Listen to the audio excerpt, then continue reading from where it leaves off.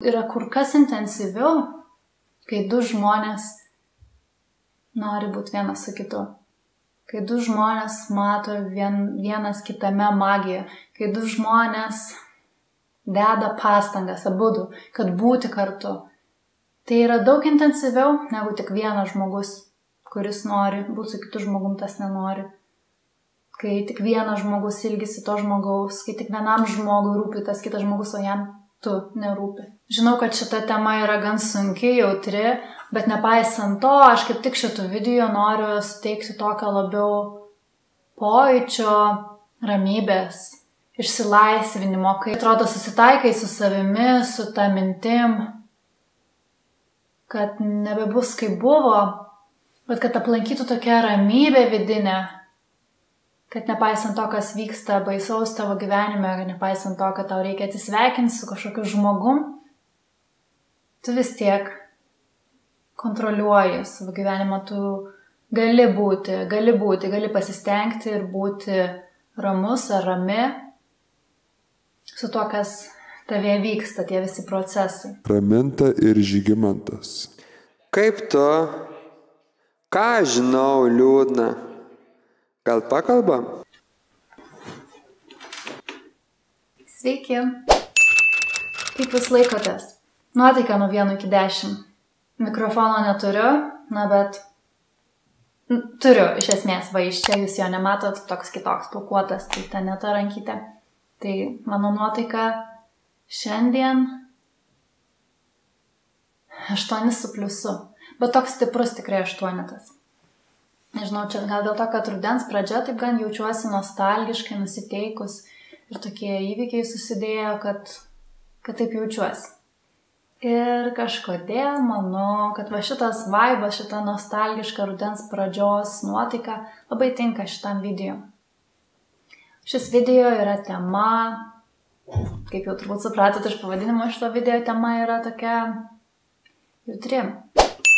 Apie meilę be atsako ir ką daryti, kai tu nežinai, negali prisiversti paleisti to žmogaus iš savo galvos ir savo širdies. Ir kad ir kokia skaudi ir jautri ši tema bebūtų, aš noriu, kad šitas video nebūtų liūdnas, o kad kaip tik jisai suteiktų vilties tau ir tokio vidinio nusiraminimo. Kad imtum savęs klausti ir gautų pat, pats iš savęs tos atsakymus, iš savo vidaus, kad ateitų tie atsakymai, susimastytum, kokiu tų santykių iš tikrųjų nori, kokio šalia savęs žmogaus nori. Ir visą šitą skaudžią patirtį paverstum tokiu kampu, kad galiausiai tu sugebėtum paleisti tą žmogų iš savo galvos, iš savo širdies ir tu kaip tik pavertęs to tokiu kampu galėtum aukti kaip asmenybė, galėtum jau ir judėti pirmin. Neužsisklęs liūdėsi, paliūdėti reikia, kartais tikrai reikia ir sveika, bet kad tai nebūtų tavo nuolatinė būsena. Kad galėtum iš to gauti daugiau savo naudos, negu save nuskriausti. Tai man atrodo, tai labai svarbu, kad tu iš skaudžių patirčių mokytumės ir kaip tik auktum kaip brandi asmenybė, kuri dabar jau tai tikrai žinanti, ko nori. Ir aš tikiu, kad giliai širdyje tu iš tikrųjų norėtum šalia savęs tokio žmogaus, kuriam tu būtų magija, kuriam kuris tiesiog nori būti, iš tiesų nori būti su tavimi ir tik su tavimi. Visi pamastymai ir netgi nuostatos, kurias čia vat išsakysiu per šitą video, aš noriu, kad čia būtų tokios kaip gairės, pasijusti ramiau, bet kaip ten bebūtų, viskas yra savo tempu. Galbūt žiūri šitą video dėl to, kad išsiskyriai su savo žmogum, O galbūt niekad ir nebuvai kartu su tuo žmogum, gal viskas ir buvo ryšku, tikra, intensyvu, viskas tik tavo įsivaizdavime situacijos, o ne iš tikrųjų. Ir taip gali būti. Labai daug įvairių scenarijų gali būti, bet nepaisant to, koks čia atvejs bebūtų, vis tiek labai yra sudėtinga, sunku atsitiesti ir praignoruoti visas tas mintis, svajones sudėtas į šitus jausmus. Ypač jeigu tie jausmai jau buvo labai apėmę gilus Ypač jeigu jau tu labai daug savęs, savo širdies, savo, atrodo, visą save atidavė kitam žmogui. Ir viskam atėjo laikas nutrūkti. Tai per vieną dieną ryšys gali, na, formaliai nutrūkti, bet tas vidinis ryšys ir iš tavo pusės, ypač jeigu yra vienpusė jausmai, tai juk taip greitai neatsisakysi viso to.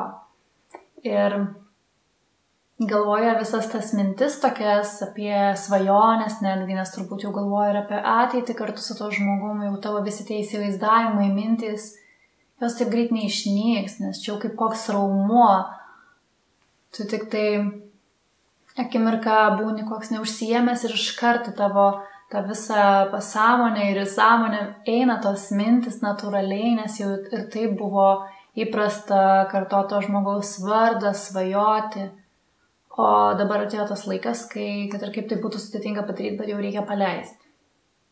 O tos mintis ir tos svajonės, kurios jau suko tą ratą tavyje, tavo galvoje, jos nenori niekur pasitraukti, joms reikia daugiau laiko, joms reikia daugiau paaiškinimo, daugiau supratimo. Todėl dalykai, kuriuos dabar pasakysiu per šitą video, tokios ir nuostatos ir dalykai, kuriuos reikia Išsiskyrus tiesiog ar praradus ryšį, ar supratus, kad pasirinko kitą žmogus, kuris tau labai labai labai labai rūpėjo ir tebe rūpi. Tiesiog yra mintis tam tikros ir tokie suvokimai, kuriuos reikia vis savo primin, kartuot, kartuot, kartuot, kad tai įeitų naujai į tavo, tavo pasąmonę, į tavo sąmonę, į tavo širdį. Kad tau nebūtų Kad tau nebūtų didelio grūzo, aš nemanau, kad šitas video bus apie tai, kad oi, čia buvo nemailė, čia buvo tik susižavėjimas, ne man tai spręsti ir ne tau.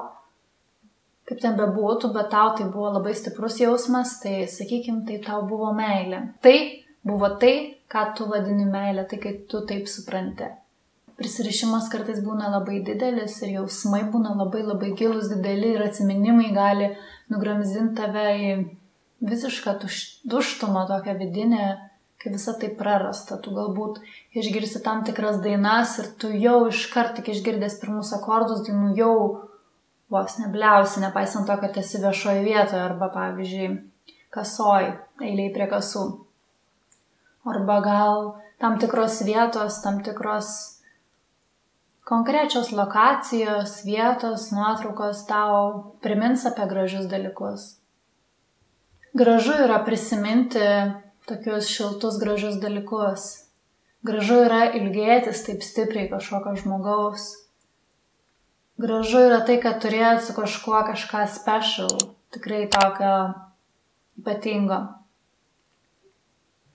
Bet kaip ten bebūtų, visada reikia susikoncentruoti tai, kaip yra dabar. Ir tas žmogus nebenori būti su tavim. Gal niekad ir nenorėjo, nesvarbu. Bet įsiklausys šitų žodžius. Tas žmogus nebenori būti su manimi. Tas žmogus nenori būti su manimi.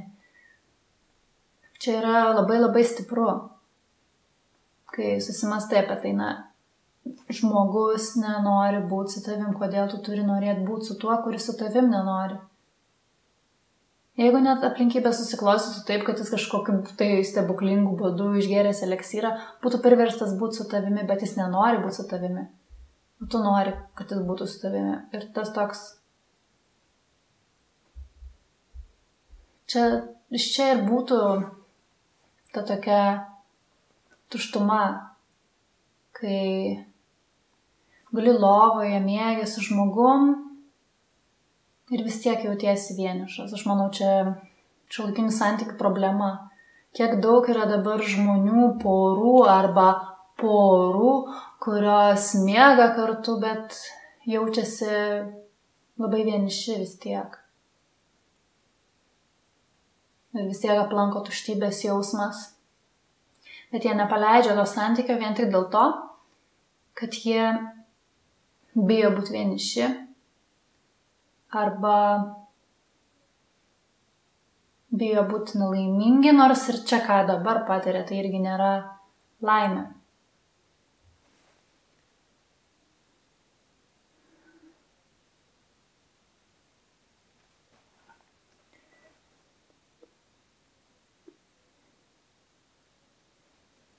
Labai yra įdomus suvokimas apie tai, kai žmogus tavęs atsisako, nenori tavęs, nenori būti su tavim.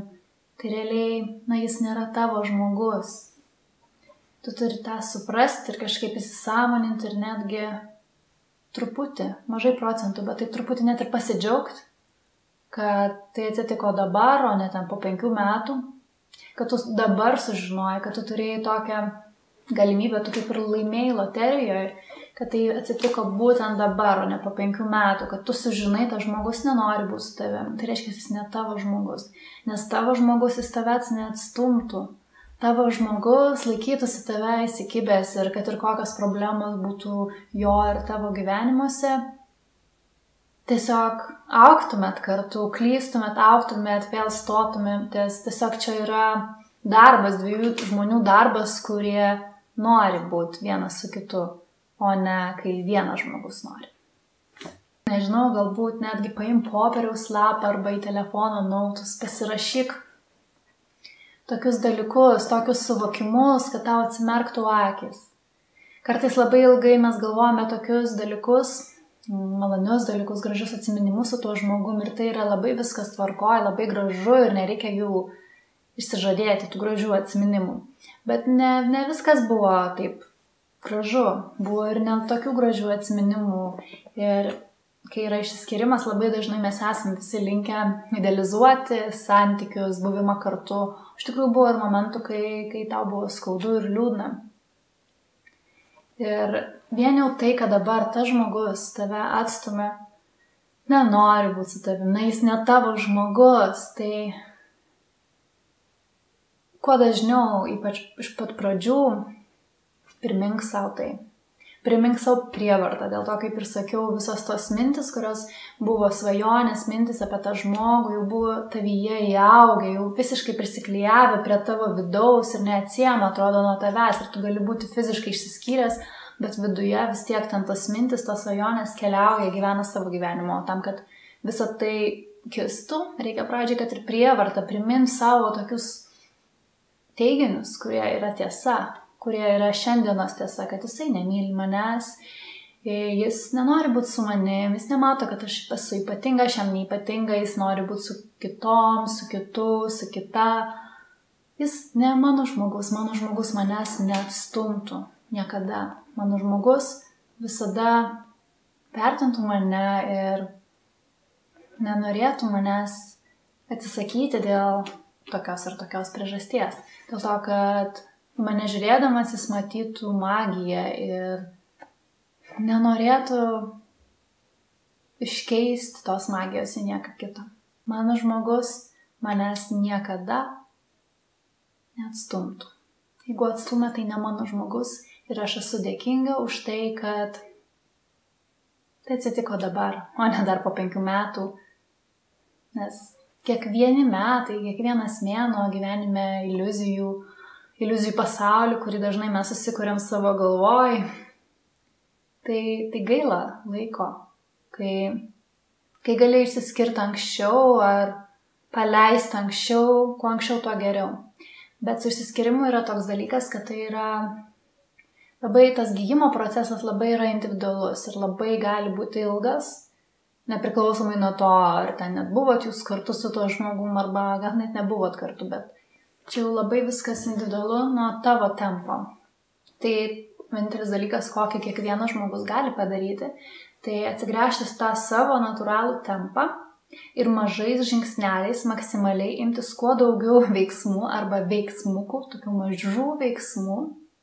Maksimaliai, kuo daugiau, kiekvieną dieną, kuo daugiau savo tempu, pagal save, kad pasijustum geriau. Bet ir nekaltint savęs ir nepykt ant savęs, jeigu na, nesigauna akimirksniu ar gan greit, imti ir pasijaus geriau. Visa tai yra kelionė ir visa tai yra individuali tavo kelionė, aš manau. Ir jeigu tavo vienai draugai ar draugui gan tas gyjimo procesas po išsiskirimo ar ten na, įvyko gan sklandžiai, sakykime, arba per tiek ir tiek laiko, per tiek ir tiek savaičių, per tiek ir tiek mėnesių metų, tai čia nepriklausomai tau gali būti kur kas ilgiau arba gali būti trumpiau. Nereikia lygiuotis, reikia tiesiog įsiklausyti savo tą tempą ir savo tuo tempu pagal save imtis maksimaliai kuo daugiau žingsnių kiekvieną dieną, kad nors truputį pasijaus geriau. O kaip pasijaus geriau?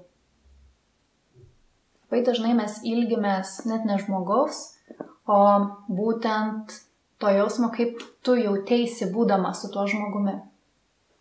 Tai kas tai per jausmas? Tai pavyzdžiui, jeigu tu šalia to žmogaus labai daug juokdavais. Arba jeigu tu šalia to žmogaus jausdavaisi labai saugi, saugumo jausmas. Tai tie maži žingsneliai, kurių gali imtis, tai tiesiog um, apsupt save su veiklom ir su žmonėm, kurie dalinai, procentaliai, kad ir nedidelius dalykus, bet apipil, apipiltų tave, tu vėl jaustumės, jaustum tas būsenas, kurias jausdavaisi, dėl kurių džiaugdavaisi, būdamas su tuo žmogum.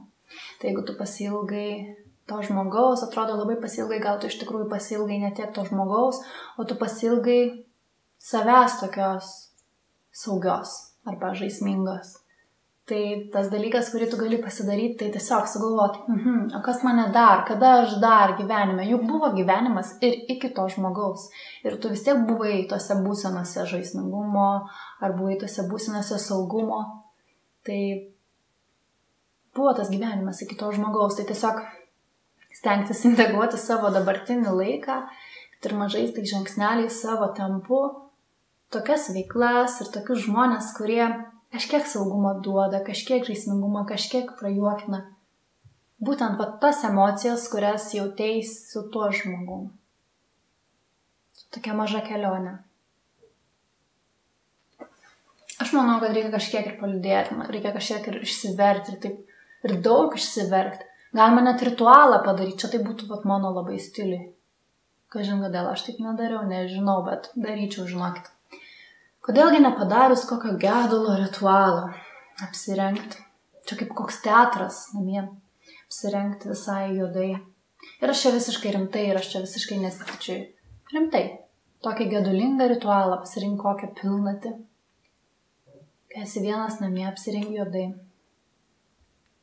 Paimi popieriaus lapą, rašiklį, parašai kokį nors meilės laišką arba nusivylimų skausmo kupiną persmeltą visą laišką, tu jo neišsiųsi, bet tu jį parašai, išsakai, išsiverki verkinę ant to laiško parašyto, ten tau išsitaško,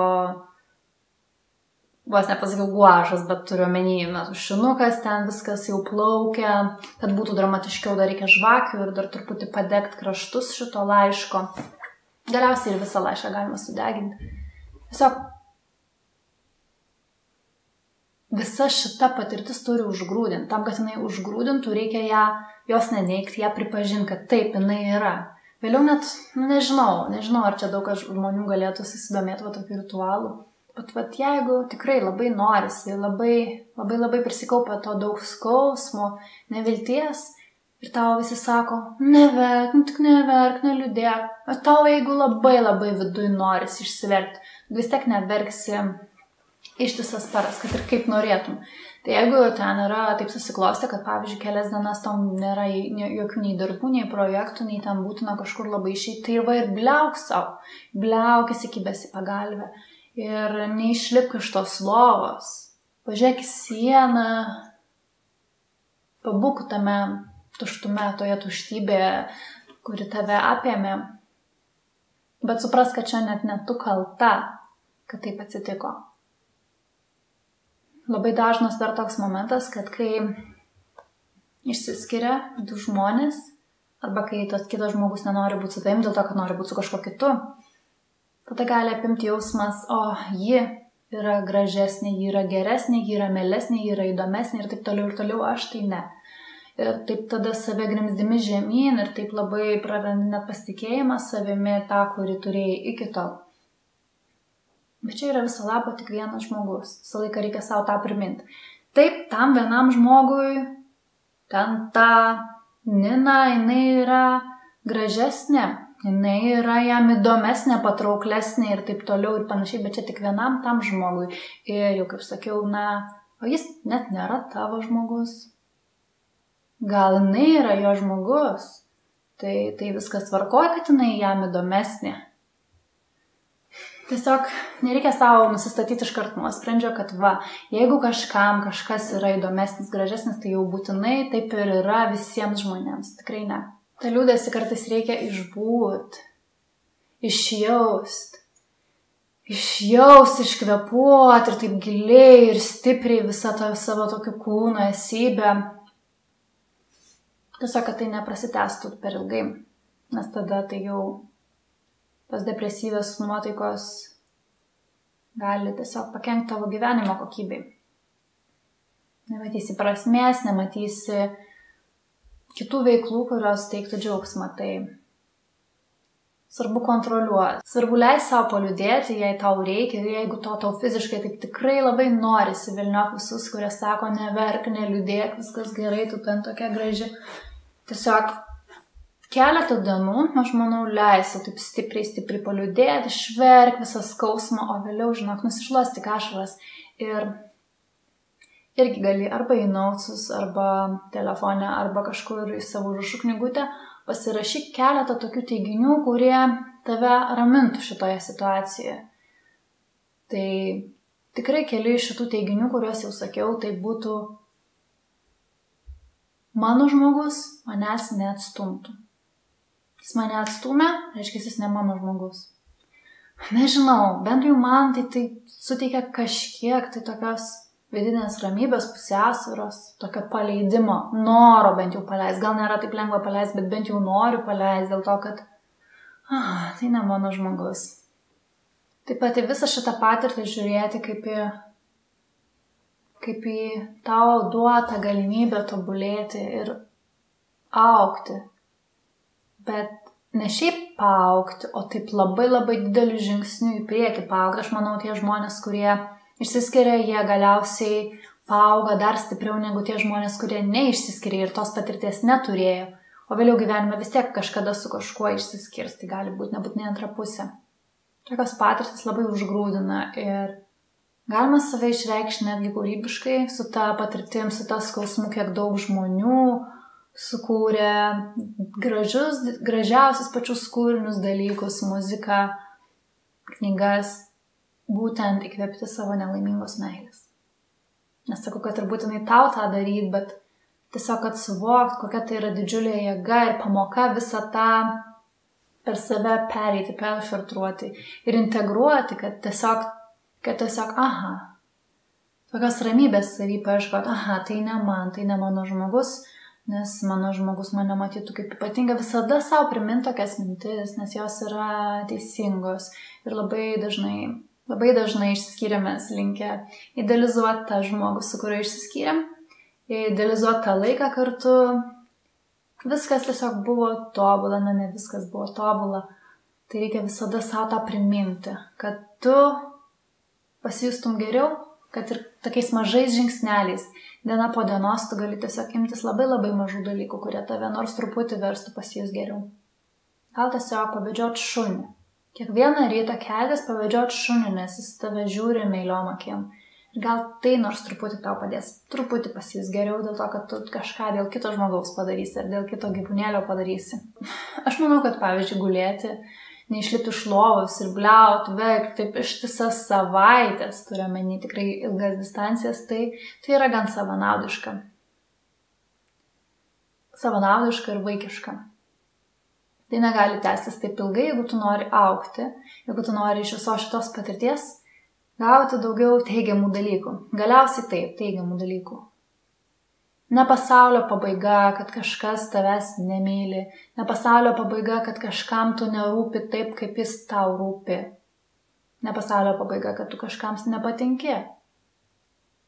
Aš manau, kad tai ne pasaulio pabaiga. Man irgi neseniai kažkas pasakė, kad aš patinku taip kaip draugė, tik kaip draugė. Man dabar liūdėti? Tikrai ne. Tiesiog, čiagi nieko tokio.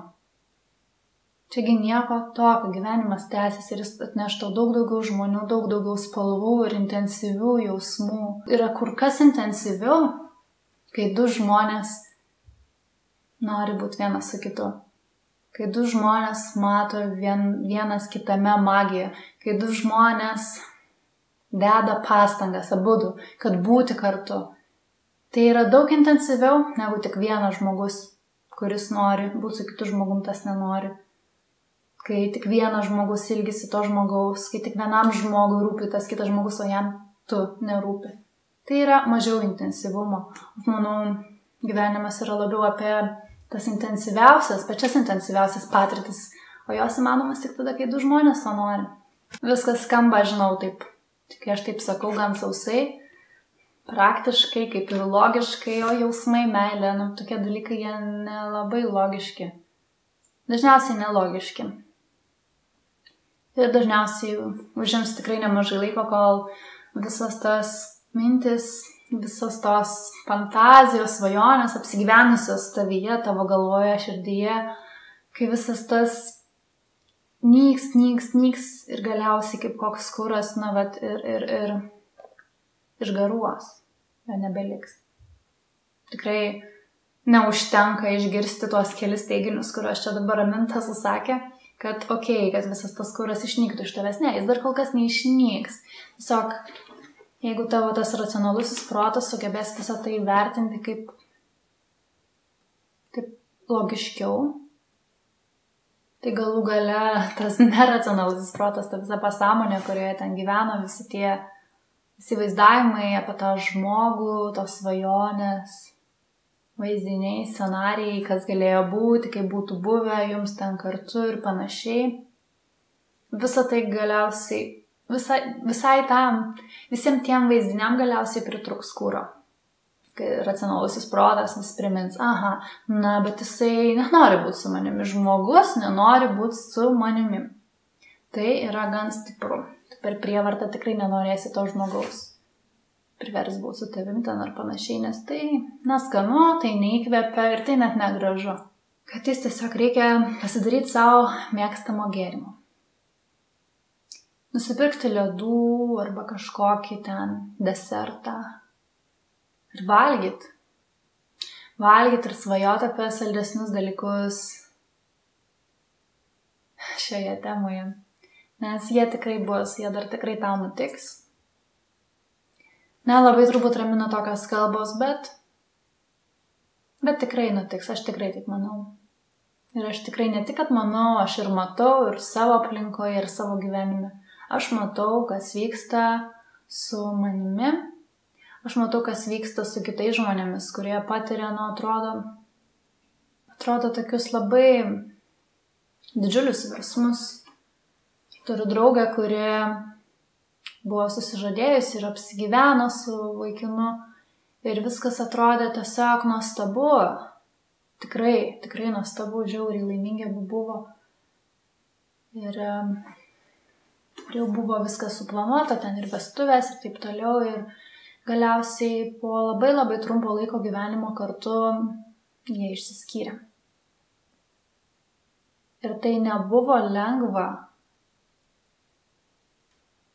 Bet ta patirtis, manau, užgrūdino ir tą mano draugę ir, ir ją užaugino kaip asmenybę. Jeigu dabar žiūri šitą video, tu žinai apie ką aš kalbu, labai džiaugiuosi dėl tavęs. Aš ir pati turėjau tokių, nebežin kokių patirčių, bet aš manau, kad aš be jų nebūčiau tuo, kas esu dabar. Ir aš, kad ir kaip sunku tuo metu būtų buvę tą pasakyti, bet aš džiaugiuosi, kad viskas buvo būtent taip ir kad būtent taip ilgai. Ir buvo sunku, sudėtinga, skaudu, bet, na, pažiūrėkit mane, aš galiu dabar tą patirtim pasidalinti su kitais, aš galiu drąsiai kalbėti apie tai prieš kameras ir net neapsiverkti. Man kaip labai jautriam žmogui tai yra daug ir jeigu aš tą sugebu, tai Tai labai daug kas galėtų tą irgi patirti. Tai labai daug kas galėtų irgi per visą šitą pereiti. Žiūrėti tiesiai į kamerą nėra nei vieno žmogaus ir net neapsverkti. Tai yra labai jautri tema. Ir aš manau, kad visa tai ypač paauglystėje Ypač paauglystėje, kai tu augi, kai kiekvienas susižavėjimas atrodo, nu, kaip pati didžiausia meilė gyvenime arba viena iš didžiausių meilių gyvenime. Ir galbūt ne taip ir bus, galbūt ne taip ir yra. Ne man teis, ne man vertinti. Pagal dabartinę tave, jeigu tu jauti, kad tai yra meilė tavo dabartinės tavęs suvokimu, tai vadinasi, tai taip ir yra.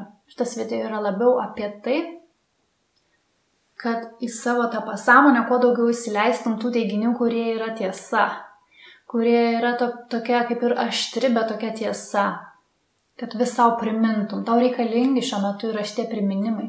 Visi šitie priminimai tau, tie teiginiai, kad ir skaudus, aštrus, bet jie yra tau reikalingi dėl to, kad jeigu ne šitie teiginiai, tai tu gali vėl gyventi savo iliuzijose, svajonėse, nes jos dar iš tavęs neišnyko, nors ir fiziškai jūs išsiskyrė, jūsų, jis pasirinko kitą ir, na, jūs nebe kartu, bet tai tos mintis jos vis tiek tavyje, tai tau reikia tą visą savo pasąmonę ir sąmonę, visą galvą, širdį apturtinti, apipavydalinti, visą tą apipinti su tokiais teiginiais, kurie yra labiau susiję su realybė, realiu pasauliu, negu tuo tavo svajonių pasauliu. Nes jeigu aš dabar išsiskirčiau su kažkuo, kas man labai rūpi ir ignoruočiau visus tos teiginius, kad, na, nenori žmogus būti su manim, nu žmogus nori būti su va tuo žmogum. Jeigu aš ignoruočiau visus tokius teiginius, tokius harsh, angliškai, tokius tiesmukiškus, kiek skaudžius, aštrius, bet teisingus teiginius iš esmės. Tai yra tiesa.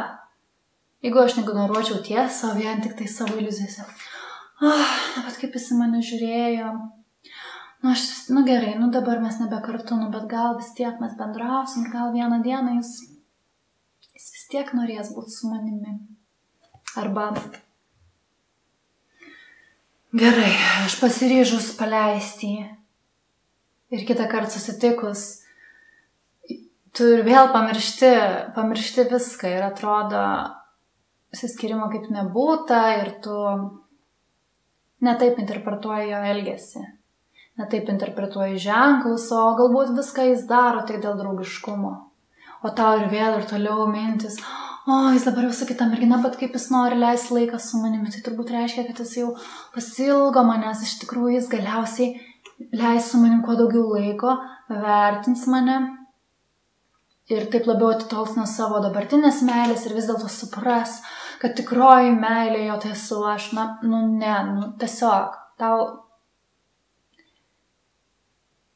tas visas neracionalus protas, tas visas svajonės, mintis, kurios tavy kaupėsi per visą šitą laiką, kai buvote su to žmogumu arba kai kažkas vystėsi bent į tą pusę, tos mintis labai norėtų va tokio mąstymo, kokį aš čia ką tik pademonstravau.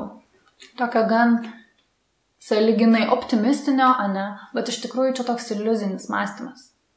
Jeigu tu bendrautum su žmogum, apsimestum, kad tu čia tik bendrauji, kad čia tik būtų draugais, o iš tikrųjų resgi tokį planą, kad čia išsiskirs savo tą merginą ir galiausiai supras, ką praradęs, čia tokie visokie kūriami scenarijai, yra apipinti iliuzijomis.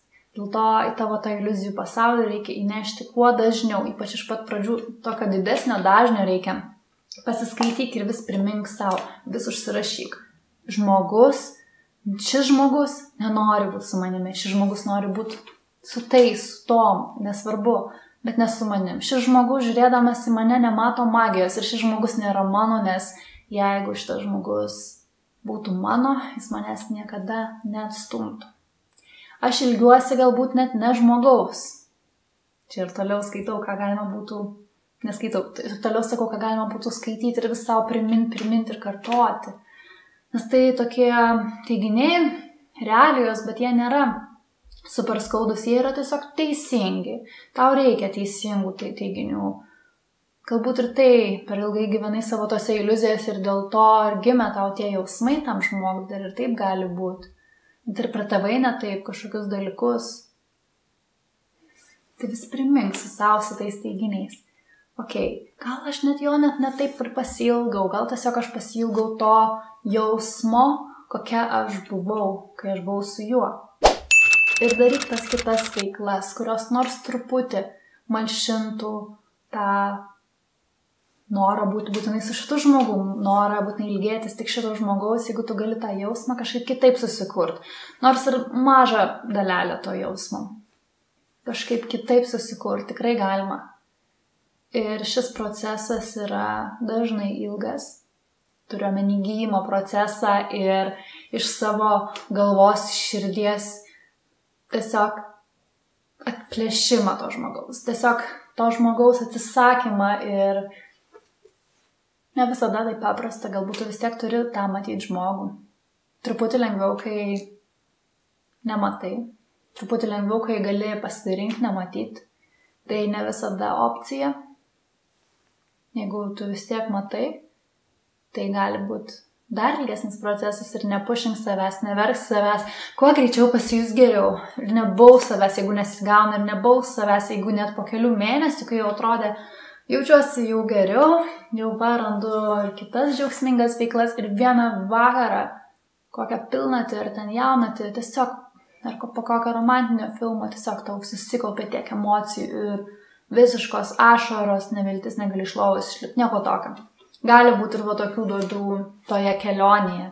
Tai yra, kaip ten bebūtų tavo kelionė, tą išsilaisvinimą, nes akivaizdu, kad tas paleidimas įvyks greitai. Jeigu iš tavo pusės bent jau, jeigu jausmai, ryšys, jeigu buvo tikra ir stipru. Jeigu tau iki šiol rūpi žmogus, o tu jam ne, tai yra liūdna, bet yra teisinga savo prieš save kas kart savo vis priminti tos teiginius, kurie tave sugražintų realybę. Nebegyvenk iliuzijų pasaulį.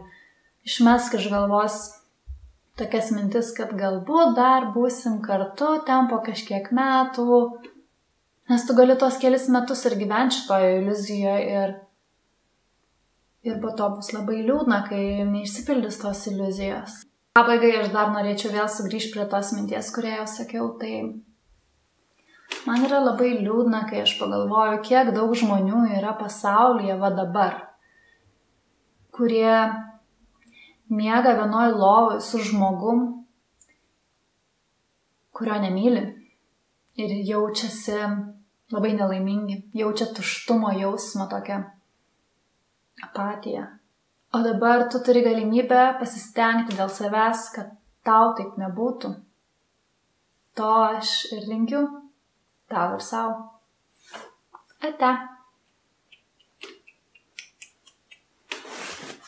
Šiautautas komento nugalėtojui palik komentą po šio video ir geriausias komentas bus išrinktas jau kito vidoso, jau kito vidoso gale.